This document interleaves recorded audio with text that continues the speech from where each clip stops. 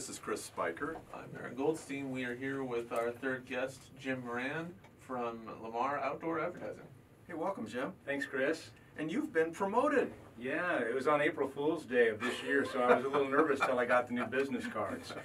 The cards came in, and, and hopefully more than 25 cards. yeah, 30. 30 cards. Excellent. Vice President and General Manager. Lamar's been in the Antelope Valley for a long time. A Long time. It started, it, originally it was Martin Outdoor, and then the largest acquisition in billboard history was, well, Chancellor bought Martin, and then Lamar acquired Chancellor, and eh, that was the largest billboard acquisition in the U.S. at the time, I think since too. It was Wow. a billion dollar acquisition. Yeah. That's when uh, Lamar came to the Antelope Valley officially. It, and it's not just a local company, but you have a local presence. Well, and that's interesting too, Chris. Yeah, we actually are a 116-year-old company. We have over 200 offices around the U.S. and Canada. We have something like 3,400 reps across the country and 200 offices, and yet the Lamar of Lancaster is still feels like a little hometown shop, right? And so we, even though we do business from you know the Antelope Valley to the Victor Valley, up the I-15 corridor to the Nevada state line, and all the way up the 395 corridor to uh, Bishop and Mammoth, and all those communities in between. Um, it's great to be headquartered right here in Lancaster in the Antelope Valley. Yeah. You know, you think Bishop's the middle of nowhere. No, for the people who live there, it's in the middle of everywhere. But Exactly. If you had a sign on 395, rhetorical question, what is that worth?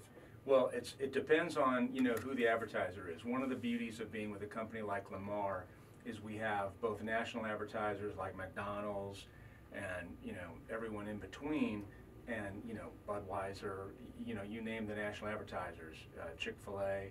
But then you have also the local mom and pop business because it's still affordable. And so up through the 395 corridor, you might get something like uh, the Smokehouse Barbecue and Chop Shop in Mammoth, Yeah. uh, great guy named Alone, or you might have uh, the Mountain with half a dozen or more boards, the Mammoth Mountain, and then you've got McDonald's blended in the mix too. So you get a really good variety of uh, customers up through there, like Eric Shaw's has been around forever, Right. and uh, so it can be anywhere from five, six hundred a month to fifteen, sixteen hundred or more a month. That just struck a nerve.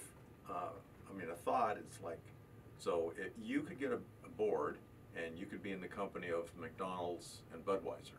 That's right. to name a couple. Exactly. And all of a sudden, I would think more people are paying attention to these signs. Well, it's interesting because a lot of times we'll get a question like, give me a testimonial. And I say, look, get in my car with me and I'll drive you around. Right. And just a, a market ride is a testimonial because you've got people like uh, McDonald's, people like the Paris Law Firm, um, UAV, you know, everybody in between. And so it's people who aren't just giving us money because we're friendly, right? They're giving us money because the product is effective and efficient and it works. And in fact, there's a great story. It's um, kind of top of mind is what you're creating. Exactly. Yeah. And that's the main thing, it's top of mind awareness. There's a thing I, I latched on to 12 years ago when I got in the business as an AE. It's called reticular activation, right? It's that little piece of your brain at the base of your brain where when you see something, all of a sudden it's everywhere. It's like when you go to, you're thinking you're buying the very first white Honda Accord ever made, right, at the dealership. Right. And you drive it off the lot and you see 45 of them in the first 20 minutes Right. it's reticular activation, all of a sudden it just becomes present. And so a lot of times what'll happen is um, somebody will, like a solar company will come on board. Or back in the day when we used to um, have, when the home builders were on, uh, at a record fever pace, right?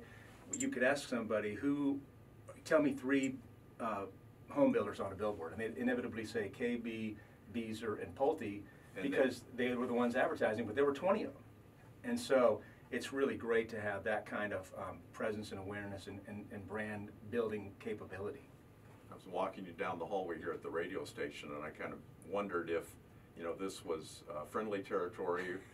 And uh, you, you do a lot of cross promotion with the radios, and you, you're here because radio works. That's right. And I've never been a competitor basher like that. I think that's silly. I, if I find out, if I ever were to find out one of my account executives were doing it, I'd let them have it, right? Because um, my, in my prior life before coming to Lamar, uh, some people know this and some don't, but for a couple of years I ran Rex Paris's law firm.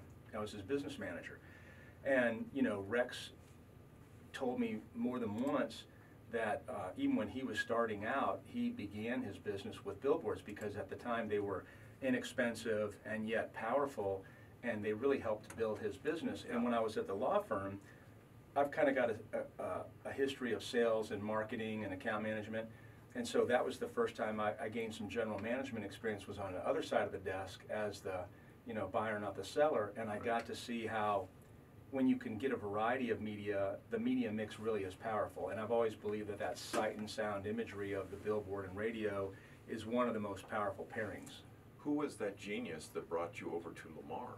Well, what happened was the rep, I still have, my, my heart. Serious is- question. Well, my heart has always been, you know, sales and marketing and not necessarily being the leader of a law firm or manager of a law firm.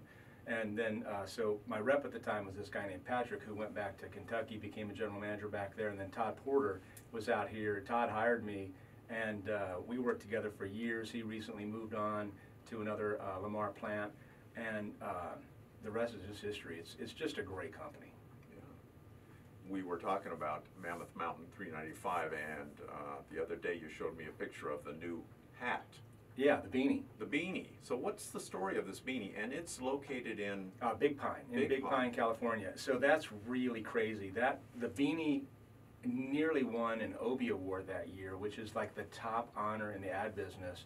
And I think it placed third actually, and I can't remember what won, but it wasn't as in good a as town of 1,200 people. It's crazy. Yeah. We um, so and it's really a unique opportunity. It'd be very difficult to do that anywhere else because of the combination of it being the 395 corridor and and how Big Pine, Big Pine sits. But basically, we just took the, the head structure of the billboard off. They they developed this beautiful design, and then every year we actually disassemble it, carefully disassemble it, bring it back, get it repainted and re uh, decaled, and then take it back up. And this this next one is uh, just put up the other day, and it's uh, really cool. And so, and people will stop and take pictures with it. Yeah. And it, it's become a real uh, brand, a powerful brand image for the mountain. How many people drive by that sign in a year? In a year, I bet probably. Um, that's a good question. It's probably in the order of. I bet there's twenty thousand a month, so maybe a quarter of a million people a year. And it doesn't seem like that big of a number when you compare it to something like a freeway here in Lancaster or in Right. LA. Yeah. But that's a target-rich audience. I mean, Yeah. most of those people are heading to the mountain, Discretionary income, big time. big time. Yeah. And they're gonna buy all the stuff from all the other billboards. It it might be more than that, because they'll have, uh, what, fifteen or twenty thousand people on the mountain on a weekend. Exactly. Yeah. It's you know Yeah. it, it is really is. Uh, I mean, I just threw that out there. I'd have to check my check my, my charts and graphs. I'm just making it look even better than you said. I appreciate that too. Because we have busy streets here that have twenty thousand cars in a day. That's right. That's true. That's true. Yeah. So it's uh, it's it's really powerful. And then you know you combine that with that's why you get then the restaurants, the retail shops, the the goggle customers. You get really the the uh, occupancy goes to next to zero or 100% occupancy, zero availability during the ski season because Yeah. all of those boards just get gobbled up. Yeah, It's really cool. that is cool. Yeah. So you have boards available? Yeah, we do. We have boards available. We've got some of our digital inventory with some occupancy on it, some boards around town. You know, there's a couple of different kinds of billboards. There's traditional static billboards that have, um, you know, one advertiser ongoing. Hmm. And then you have the digital, which is a number of different advertisers. And um, they're bought sometimes long-term, sometimes short-term. And then you have, in, like, for example, in Antelope Valley, we have about 200, we call them posters. They're basically the surface street boards that you see all over town. And those we sell in packages, usually five or 10 at a time. And then every four weeks, those move. Oh, cool. And, and that's a really great way to get reach and frequency. And as you move around, people think, well, I just saw that over there. Oh, I saw that over there. You can even seem, have, seem to have a bigger reach than you purchased. Same Right. board, you've seen it six times. Exactly. And so that's a really, there's, those are almost always available. Um, take some time though, you know, it, it isn't like you can call us or we come see you and in ten days you're up, right? Right. Because you've got to go through the discovery process. A lot of people jump to price and we say, let's forget about price for a minute. Not that it's not important, but let's figure out what message you want to communicate to everybody. And Yeah, then. You do a PR, uh, uh, class right there for them. Exactly. It's, Yeah. it's really good. And then we don't even charge them to develop the creative. uh, that's a free service for them. And then we figure out what they need, can take four weeks, six weeks, eight weeks, but we want the best possible ad on, on the street for them.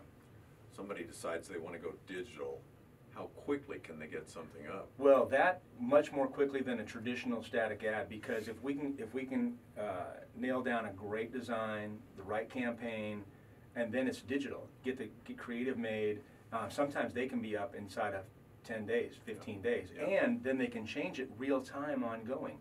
We have a lot of social media connective, connectivity to that, they can do hashtags, they can do customer testimonials. People have bought a car at Hunter Dodge, and within minutes of buying that car, on a phone, load their testimonial to the board. It's really phenomenal, and a Isn't picture. that beautiful? Yeah. Uh, And what is that worth to Hunter Dodge? Exactly, yeah. Especially us saying Hunter Dodge. Did we say Hunter Dodge? They're big, important uh, members of the community. Well, that's true, and they just developed, uh, they're a plug for Tom and Tim, but it's the largest Ram dealership in the world, so that's pretty cool. Selling pickup trucks in the Antelope Valley. Their grandpa would be so proud of them. Yeah, they're no kidding, they're good people. How do people reach Lamar? Well, the best way to reach us, you can go to lamar.com, you know, and then, and then you- there's a site on there that says select a location. You just type in Lancaster, or you type in Big Pine, or you type in, you know, anything, or you look on the map and you'll see Lancaster, that's us. There's about five plants in Southern California. Uh, we're Lancaster, Lamar Lancaster. Um, not many people call this these days because you just Google a number, but it's 9480721 and the 661. But really going to lamar.com is probably the quickest way. We've been speaking with Jim Moran, the Vice President, General Manager, Lamar Outdoor Advertising, Lancaster, California, USA. Excellent. Thank you.